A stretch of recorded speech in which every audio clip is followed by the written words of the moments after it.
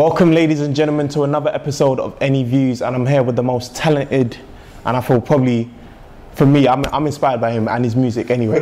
I'd like to introduce Mr. Kojey Radical. Well, God. How you doing, bro? You like that introduction, yeah? Yeah, I love that. exactly what we need. I didn't want to go in too deep because they might think it's too much, but yeah, you got to show appreciation for your work and No, stuff. love for having me, bro. Yeah, definitely. Love for coming down. Um, we're gonna get right into it, and I love this line. I, I after reading up on you and reading the Hunger magazine interview, Yeah, I'm amazing, yeah. one of the lines that you said, and I'll, I'll read out for you here: "Hypocrite with common sense," and that's all I want to be remembered for. Yeah, 100%. In saying that, do you ever feel, is there like ever a worry that people won't, basically, people may not understand your work or your message through your visuals? Uh, I think people already don't understand it. So I feel like, again, it's kind of operating on that, like, I don't really care what people think. Um, I feel like I just want to create stuff that allows people to think. So they don't have to agree with me, they don't have to get it, they don't have to do anything. They just, at least if you take the time to watch it, you can form your own opinion of what you want. Because I feel like what I was, what I'm creating kind of answers, ticks so many boxes across so many different boards hmm. that it kind of, it kind of becomes a little bit overwhelming ah. sometimes.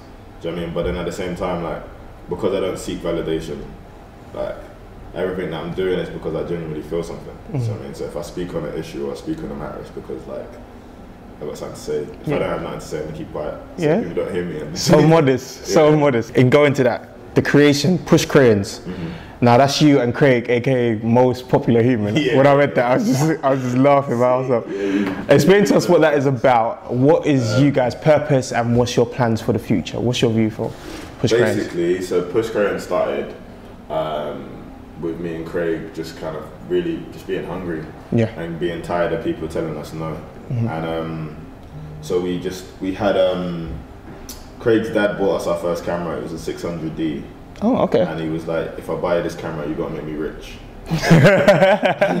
Easy task, Yeah, yeah. and I was like, say nothing, pops. Like, do you know what I mean? We'll, we'll get it done.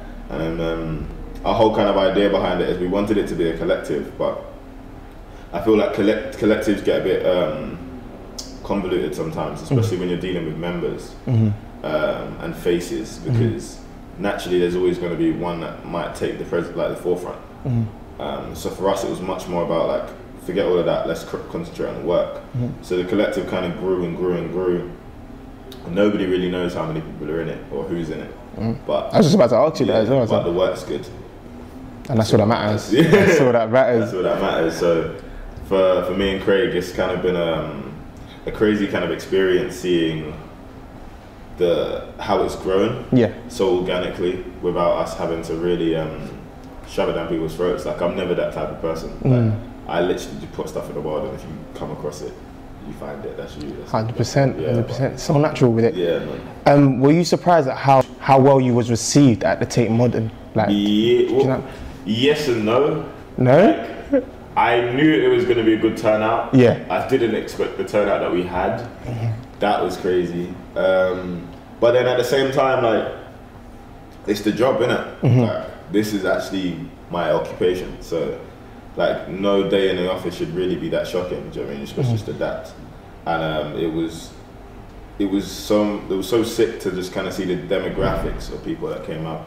Because we had people, like, loads of young people, like, people my age, maybe younger, like, 17 to to 25 or whatever in that kind of demographic and then we had mothers bringing their children as young as like 8 just to kind of come and listen to some sense you know I mean? Of course. and and everyone in this kind of one space just appreciating the, the visual and, and the performance and the artwork from Stephanie Kane and and it was just so much kind of like because we had to do it there was so many people we had to do it 100 people at a time Yeah. back to back every half an hour Oh, wow. um, until we covered like I think uh, like maybe only about 100 people got turned away yeah. which is decent And that's a good thing as well. I mean, it means that obviously people wanted to see it, Yeah, there was more.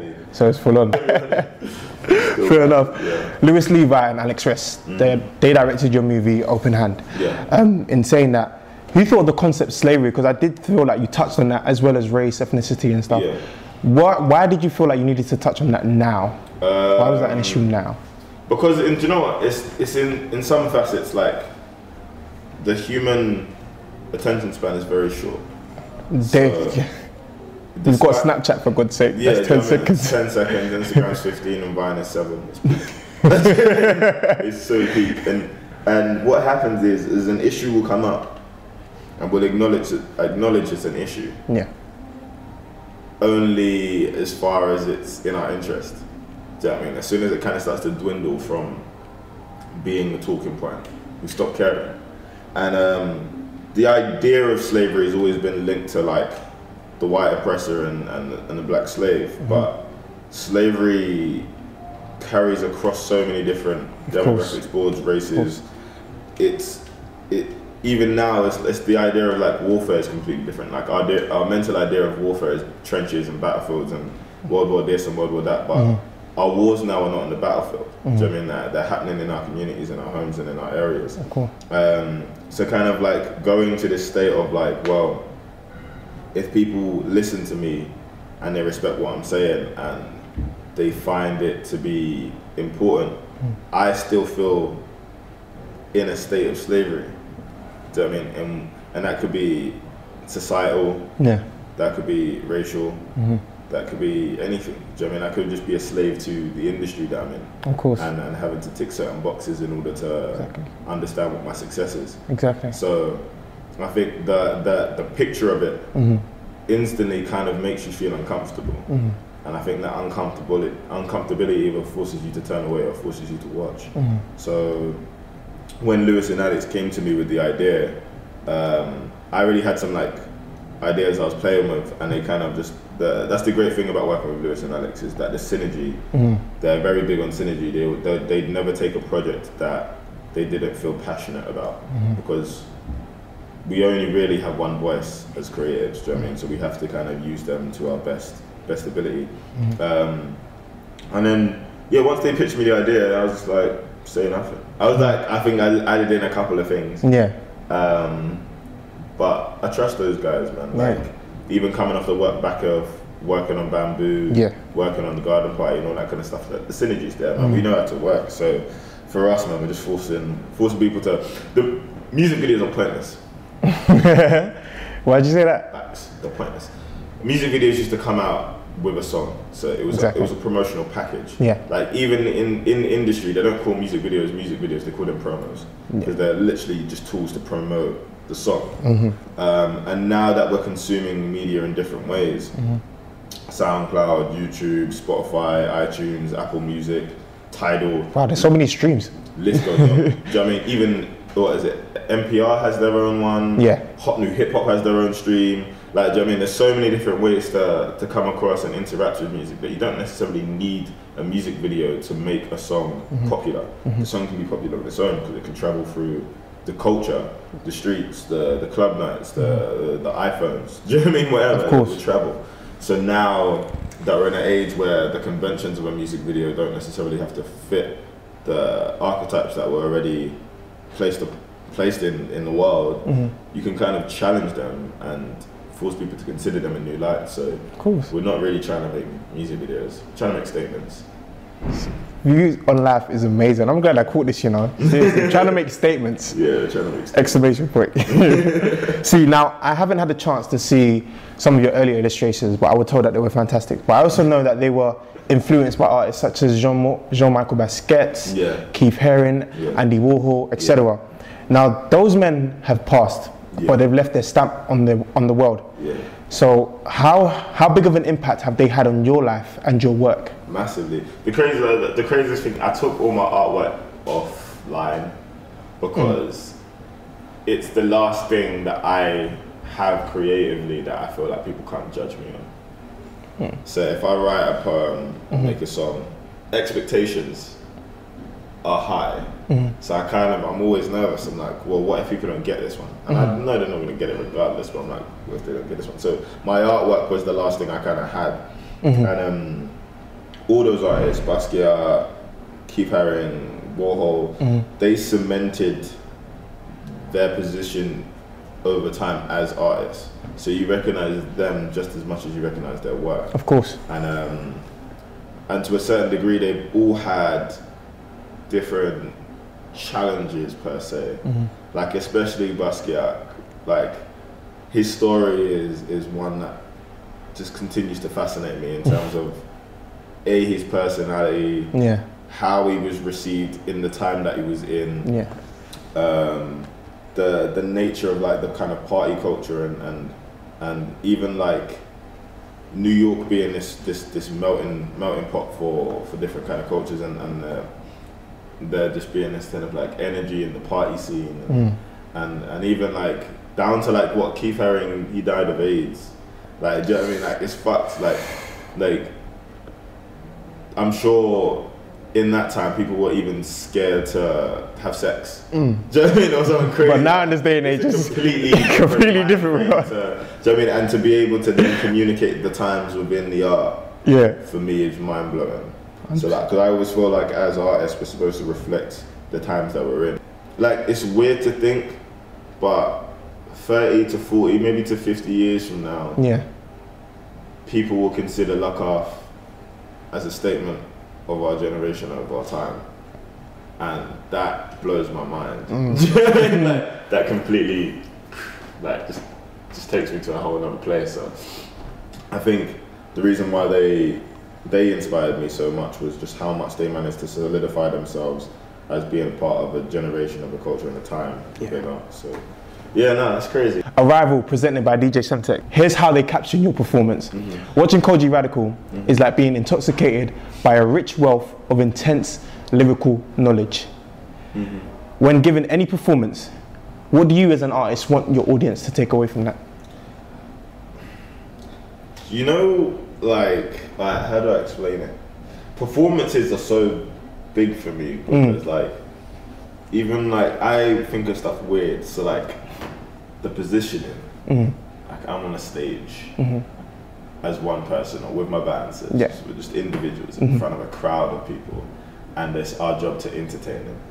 Do you know what I mean? And I think I remember the idea of seeing an artist live is, is so weird because like you spend so much of your, your time listening to them in your spare time and almost creating an image of who they are and what, what kind of person they are. So like performances is the closest you get to them per se. So whenever I get on stage and I'm, I'm performing, I kind of always I always go back to like watching performers that I loved and getting chills and being like raw. Who were they? Give me like one or two. Uh, new school, Shaka, Yes. Yes. Shout out to Shaka, by the way. I won that interview. Shaka. Insane crowd control, like stuff like that. Just like kind of like you watch and go, how do you do that? Jay Flows. If you watch Jay Flows perform, like you're just like you are a, god amongst men. Like, do you know what I mean? Like the energy, the crowd control, the belief. Like I always say, words aren't important until believe, people believe you. Do you know what I mean? So hmm. it doesn't matter what you're saying. Mm-hmm. If people don't believe you, you're talking shit. There you go. That's word of advice to everyone that's watching here. Watching. look at that look. now, this one one thing that fascinated me when I was reading up on you was that being compared to Gil Scott-Heron. Yeah. That have you heard about that? Have you? Yeah. Yeah. Yeah. That's mad. Being compared to. so take that in for a moment. Mod.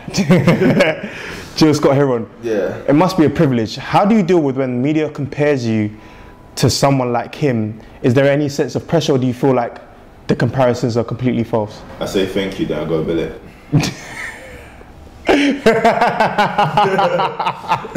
Like, I think it's it's it's cool because like he was such a, a pillar in, in his time. Yeah. Um, and even stuff that he's done before still rings true to this day. And um, if people consider me in that same light, I would just say, just give me the time to make myself great. Like Open Hand was definitely inspired by The Revolution Cannot Be Televised, um, which is definitely one of my um, favorite songs. Like once I saw how Jamie XX interpreted poetry in a musical format, I was like, yeah, it's possible. All right, let me ask you a question. How do you define rap? I would define rap as an expression of how someone feels.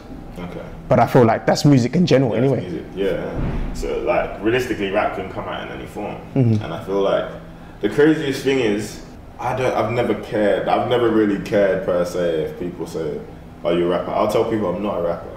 I don't actually like. It's not burning me deep down as much as people think that it is. I mean, if a song comes up and it requires me to be more on pocket or more on beat, I'll do that. One extra. Charlie Sloth. Now, I didn't do try stuff. I did Tony T. to the T. Oh, apologies, Charlie. Apologies. to T. Um, how important was that to you? And do you feel like you needed one anyway? I'm just being seriously. Legs. I'm being serious. But my opinion, if you really, if I'm being honest, I didn't need one. I feel like no. I like that. yeah, um, I don't need anything. Um, I think for me it was kind of more so like I'm I'm a poet, yes, but I'm not gonna shy away from any challenge. Do you know what I'm saying? So anything that a rapper would do, yeah, I'm gonna do it. I'm gonna do it better. Do you know what I mean? So Dope. like when I got the the invitation for that, mm-hmm. for me it's kind of like how do I explain it best? Being a young artist, there's certain platforms that you see and you write off because you feel like you'll never get there. Mm-hmm. And radio is one of them. Radio, you just think, oh, whatever, man, I'm never going to be on radio because mm. my stuff's too this way. It's only for this kind of person. Yeah, of course. So you kind of like disregard that until until it seems like it's a possibility. So until you kind of get the little the knocks on the door going, actually, no, we're interested in, and all of a sudden you're like, yeah, Collaboration with Jay Flows. Now I know I know Jay Flows. I know I know the person who directed that movie. So yeah. I just wanted to know ha, prior to that point, have you guys made music before, Mm. Yeah. or was that your first time? Nah. The craziest thing, right? And this is this is how mad the progression of all of this is. The first time I ever recorded a verse on music was for um, a guy called Ricky Queen, and um, so Ricky invites me down to record this this verse. So we get down there, um, and Jay Flows is in there recording another record. Um, and that was literally the first time I met him. And listening to him record was insane for me because he has such a texture to his voice that cuts through music and forces you to listen. And I kind of instantly knew, like, yeah, this kid is dope. Like, Mm, yeah. So Jay Flows is definitely an artist that I, I love and respect. Thoughts on labels? Um, he's gonna love this. Seriously. Go on, Pete. I think this lad was so interesting to me in open hand. It was like, I'll spend your advance on my lunch. what kind of a reaction was you expecting from the audience? Did that, that seemed kind of premeditated. So, hmm. what was you expecting? Because I know that someone was going to say that. And then after even saying that, you was like, you can't say that. Yeah, you can't say that. You can't say that. Um, because you're, because as an artist, that's the that's the goal, isn't it? Yeah. I want to be signed. I want to be famous. I want to do this. I want to do this show. I want to go here. I want to go conquer America. Do one. I don't care, I don't care bro. Do you know what I mean? What what what is that? An advance is advances alone. So you're borrowing money to me in order to make a product in which I then have to pay back to you more or less with interest. I might as well go Nando's. Oh fuck that, I might as well go somewhere fancy, on my nigga Jamie Oliver, tell him Chef Sank in his living room. Do you know I mean? Spend the whole thing on that. Like who cares? Like, who cares? Because realistically, I don't know, I know artists that are signed and can't get a third of the people that I get at my Of course. It's funny that you say it in that perspective because even now, when you speak, when you see independent artists and they look at being signed, some of them would say that no, they don't want to be signed. Would you say that that's a facade? Like they, they just literally, they deep down, deep down, they want to be signed, but they're just doing it as a front because independence is such a cool thing now. Or, they they don't necessarily want to be signed. They want to be successful, and they see being signed as a measure of success. straight. Yeah. There you go. What's next for you? Um, I'm gonna go chill with my dad. Wisdom. Um, and um, January 28th. I'm Yep. gonna Shut it down again. Yeah. Shut it down again, yeah. 23 winters. I turned 23. I'm, I'm sacrificing my birthday to put on a show. Okay. So be thankful. It's Amen. gonna be sick. Kojey, Yeah. thank you. Always a pleasure, sir. Thank you so much for coming down. Thank you for the interviews, even though you don't do many, so I'm privileged. and um, literally, love. Thank you so much for coming down once again, man. Seriously. We no longer need to close our fists for the revolution, D. Open palm may show you our separation is man-made. Made in aid of cementing thoughts that turn John Doe to Adolf.